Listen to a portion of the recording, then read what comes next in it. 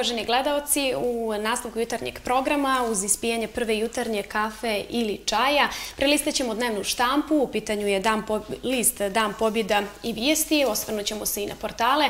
A ovoga jutra naša gošća na pregledu štampe je Marija Nenezić, književnica. Dobro jutro i dobro nam došli. Dobro jutro i bolje vas našla. Evo, počet ćemo od dnevnog lista pobjede da vidimo šta nam piše za izdanje subote 12. novembar 2022.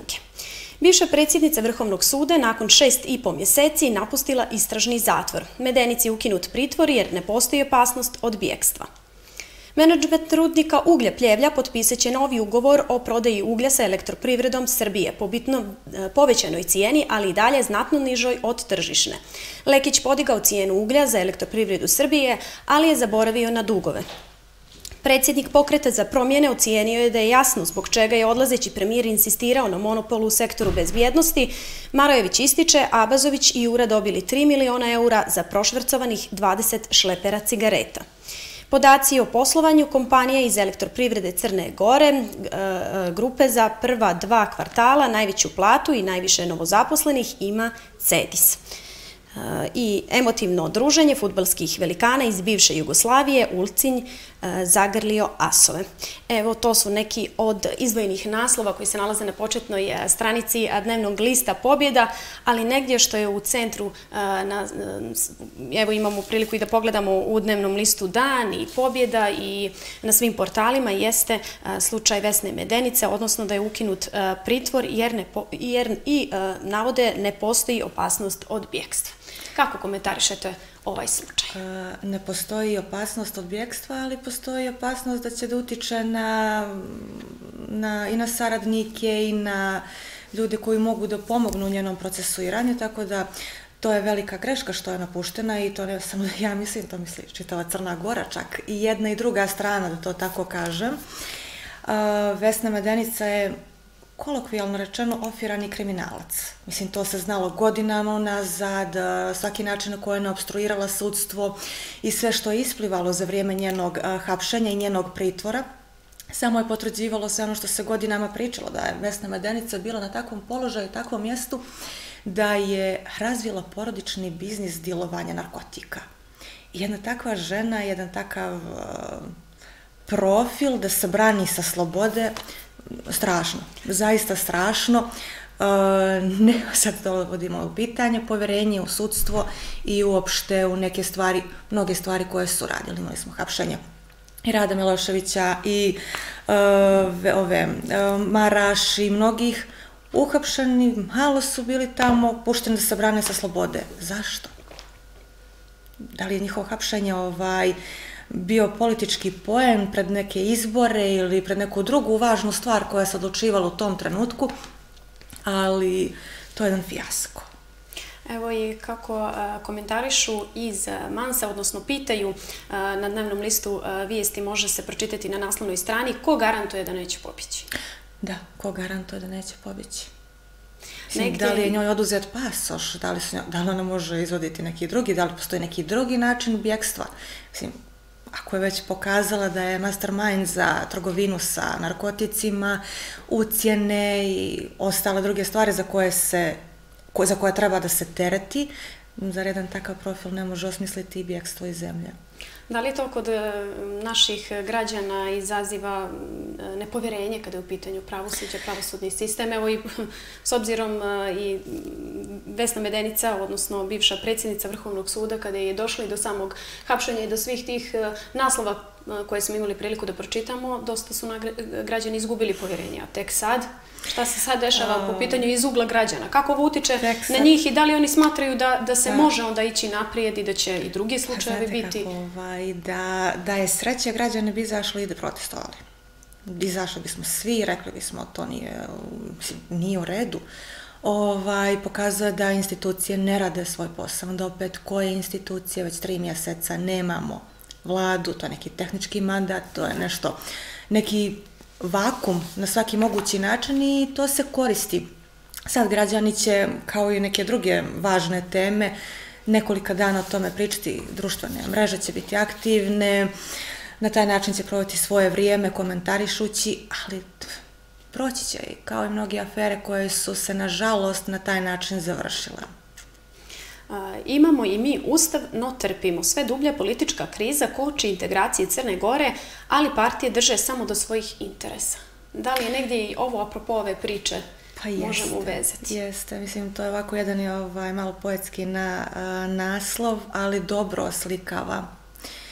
I stvarnost isto kao, šta, kao i ta replika iz te serije, volim ja naranđeno trpim, imamo ustav, no trpimo, imamo zakone, no trpimo.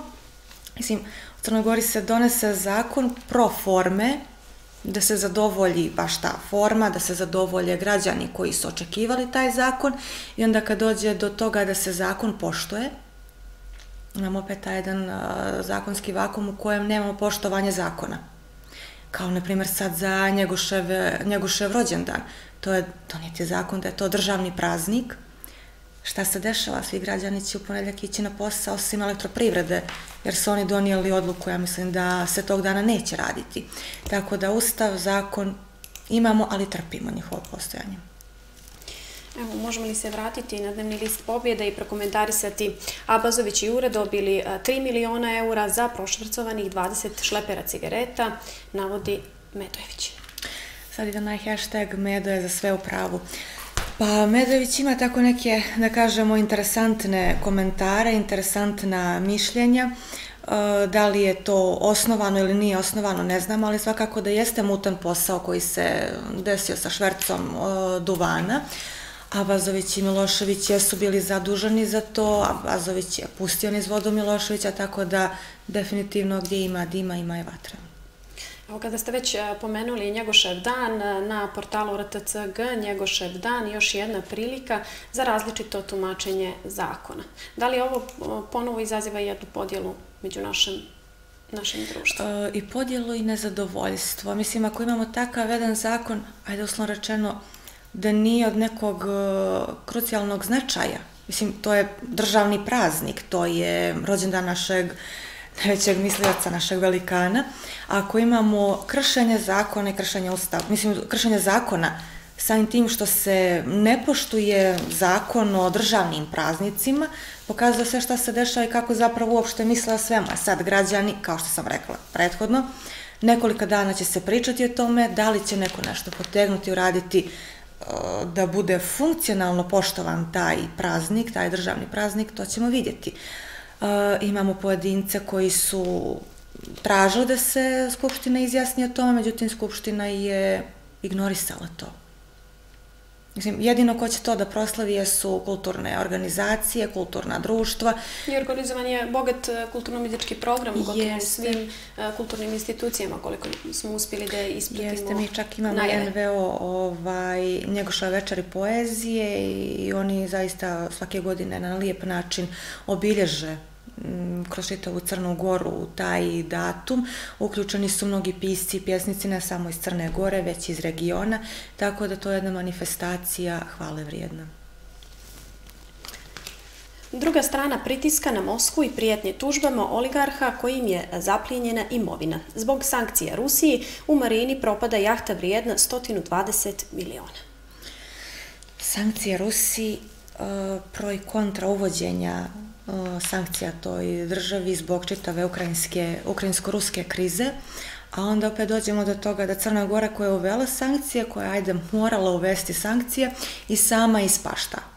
Sama ispašta i to je, mislim, čak i minorna posljedica, mislim, sam rečeno minorna posljedica, novčana je posljedica svakako troškovi održavanja jahte, mislim da padaju na teret Porto Montenegra ili... Porto Montenegro, da, jeste. Porto jer, se, jer je ova super jahta Lumino City je od marta ove godine usidrena, usidrena u marini Porto Montenegro. Njima je taj novac ništa, našoj državi Porto Montenegro jeste nešto. Opet šalje se i loša slika kako se rješava ta isto kriza na našem prostoru. Mi smo kolateralna šteta u svakom slučaju. Kada je u pitanju dnevni list Dan, također je jedan, mogu slobodno reći, zgrožavajući naslov, a to da je u jednoj osnovnoj školi u Petrovcu incident, dogodio se incident bez težih posljedica, dezinfikovali džake iz biljivača. Na koji kako? Su li sipali u sprej, onaj za alkohol? Vjerovatno je došlo do greške kao što o, je... Gospode. Mislim, nevjerovatno da mogu takve greške da se dese. Da li se može opravdati ovakva, ovakav ne. trenutak nepažnje i. Ne, mislim, ne može. To je velika nepažnja, neprofesionalnost i nepoštovanje te djece. Mislim, da li su razmišljali, da li, ko je sipao šta, baš nemam riječi na tim naslovom. Prelistit ćemo i e, dnevne novine vijesti koje imamo u elektronskoj formi. Ni blizu završetka decenijski problem bespravne gradnje. Ni miliona, ni rušenja, ni legalizacije. Opet dolazimo do zakona. Mrtvo slovo na papiru. E, kad će se to riješiti? Puf, treba nam stabilna vlada i vlada koja će da pokaže da, je, da joj je stalo do toga da poštoje zakone. Zakone koje ona donosi, zakone koje, koji drže ovu zemlju. Uh, I da interesi idu u interesu svih građana, a ne samo Inter, političkih a ne samo političkih, jeste. Mislim, uh, treba olakšati, da li na neki način olakšati način proces legalizacije, Mislim, kad se dođe do toga, uvijek fali taj neki papir i nešto. Institucije mogu pokazati malo više i razumijevanja, malo više i slobode, da bi se to pitanje riješilo. Što znači da opet, to je pokazatelj da osnove nisu postavljene na najbolji mogući način. Bespravna gradnja, nelegalizovani objekti. Dakle, treba, nelegalizovani objekti su krajnji proizvod, znači treba poći do izvora problema i, on, i to rješavati da bi to funkcionisalo. Evo još jedan naslov iz dnevnog, dnevnih novina vijesti, onako koji je u gro planu kada je u pitanju naslovna strana, država u mreži špijunskih kablova. Koji špijun na istog mi... zapad, koja država... Nezakonito praćenje i presluškivanje isključivo je služilo interesima političko-kriminalnih struktura i potpuno ugrozilo rad i ugled agencije, tvrdi Dejan Vukšić. Sad, ko se presluškuju, mislim, de facto se građani presluškuju, de facto je da se presluškuju i neki političari i javni funkcioneri, pa sad, koli, mislim, Da li bi bolje bilo okrenuti... A ko ih e, prisluškuje? Da li ih prisluškuje država Crna Gora, da li ih prisluškuje Rusija, da li ih prisluškuje Amerika, Francuska, Njemačka? To su opet pitanja. Je sad Crna Gora opet mala zemlja? Ko nas prisluškuje i zašto? Evo kada sam otvorila naš portal rtnk.me, također ne baš uh, jedan ne baš lijep i svakako potresan podatak i naslov jeste da za šest godina 18 samoubistva maloljetnika u Crnoj Gori Iva Rajić ističe roditelji uh, da ne postavljaju rigidne granice, već da njeguju otvoren odnos sa djecom. Mislim da bi Stvarno, to trebalo jedan da bude u centru možda, pažnje. Da. Mislim, uz dužno poštovanje i prije i Medenice i bilo koji, i Dritana i Medojevića, mi treba da brinemo o djeci, mi treba da brinemo o mladima. Mi smo samo u protekla dva, tri mjeseca imali i samoubistvo mlade osobe i pokušaj samoubistva i to je crveni alarm. I, I za porodicu, i za društvo, i za institucije. Uh, nažalost, to je sve toliko skopčano i sa političkom krizom, jer roditelji više brinu o, neki, o egzistenciji i više brinu i o poslu i o drugim stvarima nego o djeci. Djeca su zapostavljena prepuštena su sama sebi, uh, podižu ih društvene mreže, društvene mreže su prepune nasilja, govora mržnje. Imali smo baš sad ovaj slučaj isto strašan u Republici Srpskoj, BiH, je li tako? Mladić koji je oduzeo sebi život jer nije mogao da podnese nasilje online, ismijavanje. Uh, tu smo pokazali da smo kao, ne samo kao Balkan i naš narod, nego generalno kao svijet smo dotakli dno, ako, ga, ako dno više postoji. E, mladi ljudi koji oduzimaju sebi život, djeca koja su došla do toga da sebi oduzmu život, to je i najveći indikator, pokazatelj da je država u velikom problemu, da postoji kriza, da ni roditelji, ni škole, ni neke druge vaspitno-obrazovne institucije ne rade svoj posao i treba sjesti, treba napraviti neke reforme, pomoći mladima, uvesti obaveznog psihologa u osnovnim, mislim, znam da postoji e, pedagog, u nekim školama znam da postoji psiholog, ali opet da li dobro rade svoj posao. Očigledno ne rade. Onda opet... Da li je moguće ne zapaziti da se osoba, odnosno da li je moguće da roditelj, društvo, prijatelji ne ugledaju i ne vide kod osobe da neke promjene u svom u ponašanju, u govoru, nešto što upućuje na, odnosno da će se desiti neki ovakav tragičan, tragičan čin? Ne znam jer iz, iz nekih drugih stvari, mislim, posmatrajući istoriju, neki ljudi, veliki pisci koji su izvršili samobistvo i veliki umjetnici, to su bile najveselije osobe. To su pa kažu bili... da se iza, iza najviše uh, smijeha krije najveća tuga. Najveća tuga, da, to stoji. E sad, kada je riječ o djeci, pa vjerojatno postoji taj neki prelomni trenutak koji roditelji nisu ispratili. Jedan prelomni trenutak koji je dijete poljuljkao, koji je dijete uh, stavio u ćošak u bezlaznu situaciju, a to je onda opet znači da roditelji ne komuniciraju dovoljno sa svojom djecom. Mislim, opet i u Crnoj Gori sa našim načinom vaspitavanja djece koji je izuzetno strog, to i ne čudi.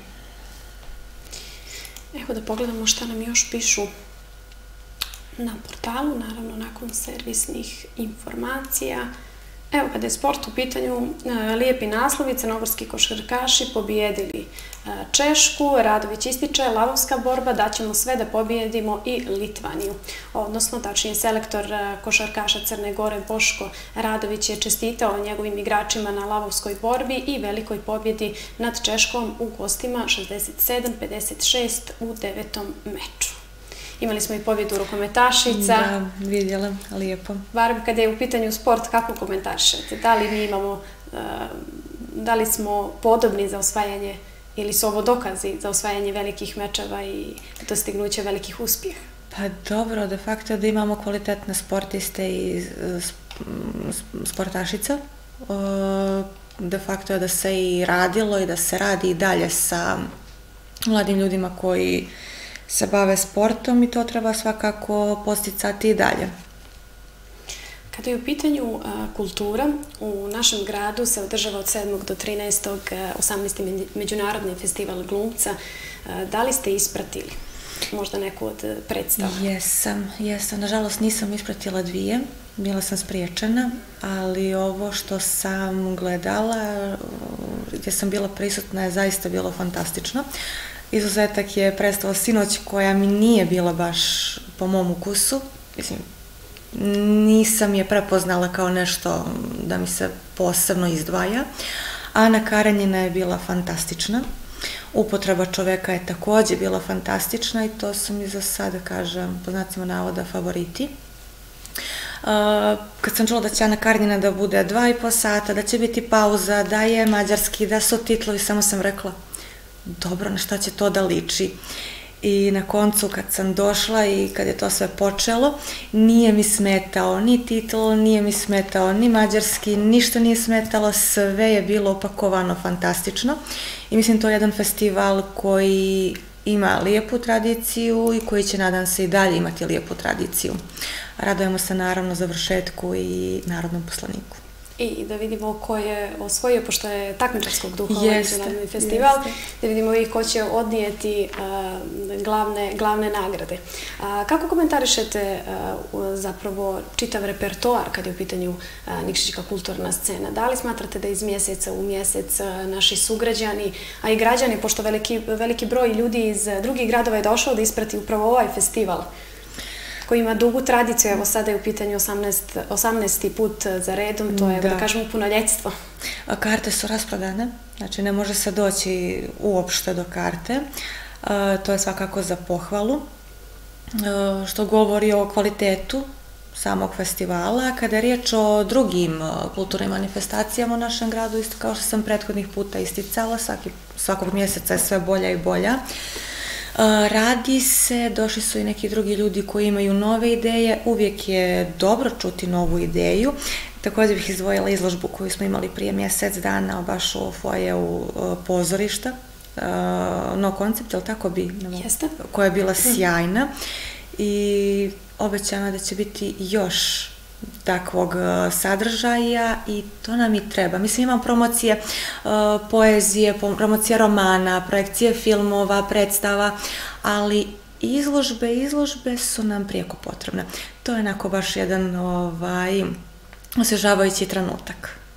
Ono što raduje, imala sam priliku da ispratim e, sve predstave do sada, jeste da dosta ima mlade publike i negdje to raduje da se mladi okreću više tim pravim vrijednostima, pozorištu, e, kulturnim dešavanjima, nego upravo pomenutim e, društvenim mrežama koji su krivac, da kažemo, glavni krivac za mnogo toga. Pa, znate kako, ne bih ja rekla da su društvene mreže glavni krivac mnogih stvari, daleko od toga. Društvene mreže, ako se koriste na dobar način, na funkcionalan način, one jesu dobre i pomažu pojedincima. Društvene mreže mogu biti edukativne, znači do nas je. Šta ćemo mi da tražimo, koji sadržaj, um, koje teme? uh, i na koji način ćemo da se...